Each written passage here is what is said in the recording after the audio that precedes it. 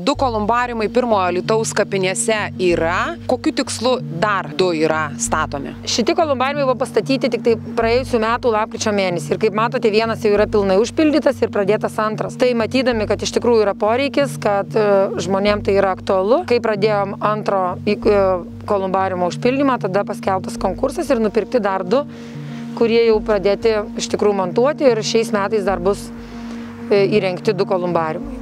Labai praktiškas klausimas. Vis tik kur kreiptis, kokia to kaina ir tas visas praktiškumas, dokumentai ir panašiai tiesiog paprastam žmogui.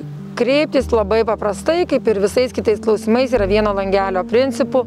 Reiškia, kreipėtės primamam ir viskas būna paaiškinta. Tikrai tos informacijos nereikia laikyti galvoje, nes jisai daroma vieną kartą gyvenime ir, ir viskas būna paaiškinta, e, duota sąskaitos, į kurias sumokėti. Vienos e, kriptos kaina yra 1000 eurų vienkartinis mokestis.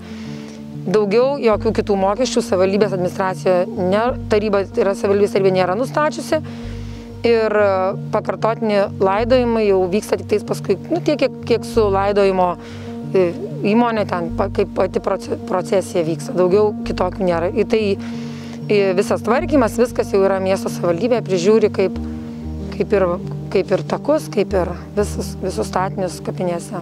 Alitiškiai jau prie to priprato, nes, na, tai yra gana modernu.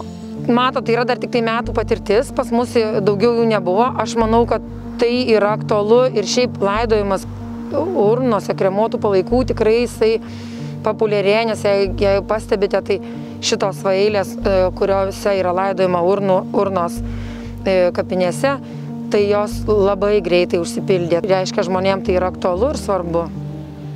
Kokiomis lėšomis šio, šie dar du kolumbariumai bus statomi? Pirmiem dviem kolumbariumam buvo skirta tarybos lėšos, už jas buvo nupirkti kolumbariumai ir antr, antriem jau mes tikimės nupirkti iš gautų lėšų už šitas, už surinktas, užkriptas.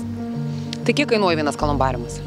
E, praėjusiais metais pirkti kainavo apie 25 tūkstančius nepilnai, o dabar mums pavyko netgi dar pigiau nupirkti ir, ir 22 gal nu, maždaug, kad dar buvo 2000 maždaug pigiau.